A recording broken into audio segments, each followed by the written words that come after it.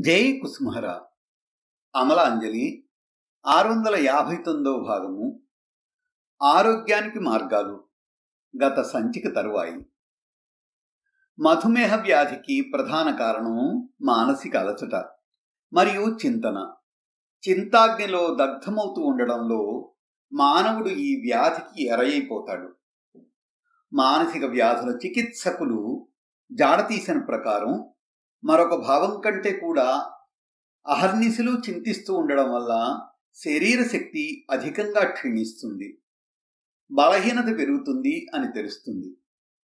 అధికమైన దుఃఖం మరియు చింత వల్ల ఎంత శక్తి క్షీణిస్తుందో దాన్ని పూర్తి చేసుకునేందుకు శరీరం రక్తంలో మరీ మరీ ఎక్కువగా చక్కెరను చేర్చి రక్తవాహక నాడులలో ప్రవహింపజేస్తుంది.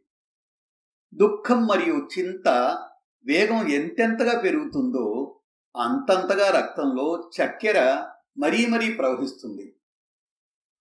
చాలా కాలం ఇలా ప్రవహించడంలో జీర్ణశక్తి సంచి బలహీనపడి ఖాళీ అయి తన పనిని ఆపేస్తుంది. దీని ఫలితం చక్కెర కొలత నాడులలో పెరిగిపోయి మధుమేహ వ్యాధి భయంకర రూపం దాలుస్తుంది. ప్రసిద్ధ డాక్టర్ రిబేకా ఈ వ్యాధి నిర్మూలనకై చెప్పింది ఒకే ఒక మందు. ప్రేమతో మనసుని నిరంతరం నిశ్చలంగా ప్రసన్నంగా ఉంచాలి. భగవానుడి దగ్గర ఎల్లప్పుడూ ఇదే ప్రార్థించాలి. నిష్కామ ప్రేమ ఆనంద రసాస్వాదనంతో శరీరానికి మనసుకు శక్తిని దానం చేయి తండ్రి అని. మధుమేహ రోగికి చార్లెస్ ఫిల్మోర్ చెప్పింది. పరమాత్మయే నా జీవన శక్తి నా శక్తి ఎప్పటికీ క్షీణించదు. నా జీవితం భగవానుని నిధానానికి అధీనమైపోయి ఉంది. నేను బలహీనత వార్ధక్యం మరణానికి భయపడను. భగవానుడే నాకు సంజీవని శక్తి. నా జీవితం అపవిత్రమైన ఈ విషయవాసనలకి దూరంగా ఉంది. అది నిత్యం పవిత్రం మరియు భగవన్మయమై ఉంటుంది అని. రక్తపోటు పెరుగుట హై బ్లడ్ ప్రెషర్.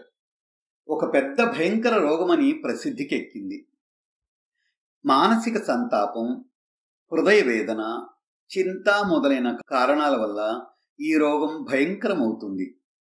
వేదనలు చింతలు శరీర అవయవాలని బలహీనం చేస్తాయి. మనిషి ఆరోగ్యం పడిపోతుంది. భయము నష్టము వీటికి సంబంధించిన భావాల వల్ల శరీర కార్యాలపై చెడు ప్రభావం పడుతుంది. రక్తవాహక నాడులలో రక్తం చక్కెర గొప్ప వేగంతో ప్రవహించడం ప్రారంభం అవుతుంది ప్రమాదం భయం వీటి నుంచి విముక్తి పొందేందుకు శారీరక శక్తి రెట్టింపు అవుతుంది రక్తపోటు పెరగడం దీని పరిణామమే. మనుష్యుడు ఎప్పుడు మృత్యుభయం వృద్ధాప్య ప్రభావం దుఃఖాల వేగంతో నిత్యం ఏదో శంక అనుభవిస్తుంటాడో అప్పుడే రక్తపోటు పెరుగుతుంది. ప్రసిద్ధ డాక్టర్ రిబేకా చెప్పిన మాటలు ఈ వ్యాధి నుంచి తప్పించుకోవచ్చు.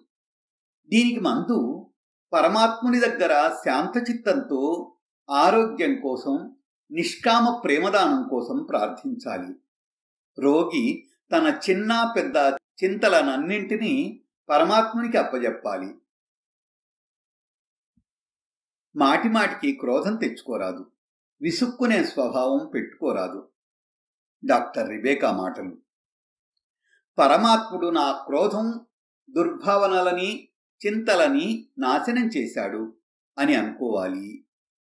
నేను ఎప్పుడు కోపగించుకోను విసుక్కోను భయపడను. ఇటువంటి మూలభావాల్ని స్వీకరిస్తే అధిక లాభదాయకం. ఇటువంటి భావాలతో మనస్సు ప్రసన్నంగా ఉంటుంది.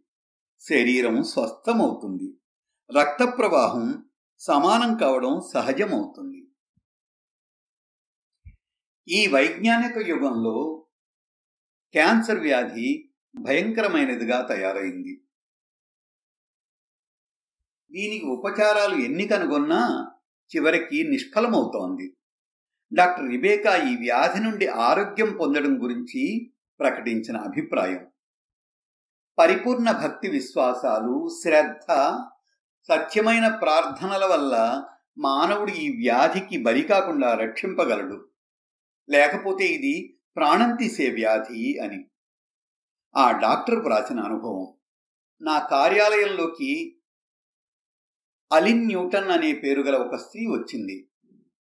ఆమె పొట్ట ఘోరంగా ఉబ్బరించింది. ఆమె అమితంగా బలహీనపడింది. ఆయాసం పడుతోంది. క్యాన్సర్ వ్యాధితో బాధపడుతోంది. డాక్టర్ల వైద్యం నిష్ఫలమైంది. నేను ఆమెతో భగవాన్ని నిరంతరం ప్రార్థించమన్నాను. ఆమె ఆనాటి నుంచే ప్రార్థనని ప్రారంభించింది. ప్రతి క్షణం ఆరోగ్యం కోసం ఎదురుచూస్తోంది. ఒక రాత్రివేళ ఆమె స్వప్నంలో దివ్యప్రకాశం చూచింది. తక్షణమే లేచింది. ఆమె పొట్ట అణిగి సమానంగా తయారైంది. అలిస్ రాగానే నేను అడిగాను ఏమమ్మా రక్తం అంతా బయటికి వచ్చిందా? నీరు బయటికి వచ్చిందా? చెమట బయటికి వచ్చిందా? అని. లేదు అన్నదాను ఈ జవాబుకి నేను ఆశ్చర్యపోయాను. క్యాన్సర్ వ్యాధి నయం కావడం కేవలం భగవానుని కృపతోటే సంభవం అవుతుంది అని నిర్ణయించుకున్నాను. ఒక వారం తర్వాత అలిస్ బరువు తీశాను. వ్యాధితో ఉన్నప్పటి బరువు కంటే ముప్పై ఎనిమిది పౌండ్లు తగ్గింది. పొట్ట ఉబ్బరించడం వల్ల అంత బరువు వచ్చింది.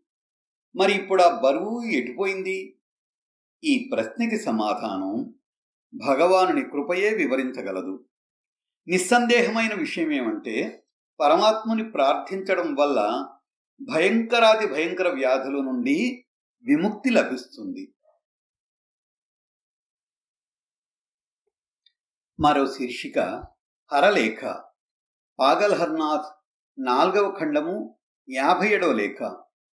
బాబా కాళీ శ్రీయుత కాళీపద మిశ్రా టుండుల. నీ ఉత్తరం చదవగానే ఏమో తెలియదు ఎందుకు కన్నీరు వచ్చింది. ఉత్తరంలో అక్షరాలని కన్నీటితో వ్రాసినట్లుంది. నీ ముఖం ఎప్పుడు జ్ఞాపకం వస్తే అప్పుడే నీ కళ్ళలో నీరు కనిపిస్తోంది. బాబా కృష్ణుని పట్టేందుకు ఉచ్చుయే కన్నీరు. ఈ భూమికి ఇదే తలక్రిందుల నియమం. నీటితో స్థలాన్ని కట్టివేయవచ్చు. కృష్ణుడు నీ ఉచ్చులో త్వరలోనే పడాలి. ఇదే నేను చూడాలని కోరిక. మళ్ళీ ఎప్పుడు నీ ముఖం వైపు చూస్తానో అదే ఆలోచిస్తున్నాను.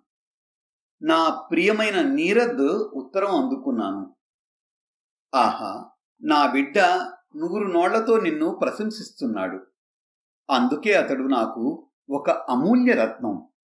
కృష్ణుడు మీకు మేలు చేకూర్చుగాక. బాబా బిడ్డని ఆకర్షించుకోలేనటువంటి నిష్ఠురాలైన తల్లిని నేను చూడలేదు అని మా అమ్మకి చెప్పు. బిడ్డ కంటే ఆమెకు సిగ్గు ఎక్కువైందా? ఇక నుంచి చందమామలు ఎన్నెన్ని చూపించినా నేను పోను. మరి బిడ్డల దగ్గర అమ్మకి సిగ్గేంటి? విశేషించి ఒడిలోని బిడ్డ దగ్గర. అమ్మకి వివరించి చెప్పు. బాబా నా శరీరం తిరుగుతోంది.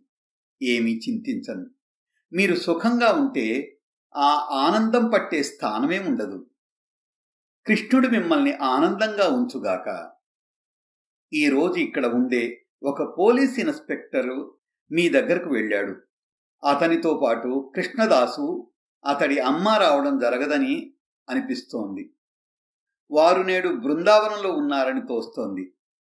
ఏమైనా గాని వారికి ఎప్పుడు ఇచ్చగలిగితే అప్పుడు రావచ్చును. నాకేమీ కష్టంగా లేదనే వార్తని అందించు. నా కోసం ఏమాత్రం చింతించకు. కృష్ణుడు మిమ్మల్ని ఆనందంగా ఉంచుగాక. మీ అమ్మతో నా ఎడ ప్రేమ దృష్టిని మాత్రం ఉంచడం మరువవద్దని నేను వారి ఆశ్రితుడను అనే మాట మాత్రం జ్ఞాపకం ఉంచుకోమని చెప్పు. ఇవాళ అమావాస్య. అందువల్ల చాలామంది జనం ఇక్కడికి వచ్చారు. బాగా గుంపుగా ఉంది. మీ హర. జై కుసుమహర.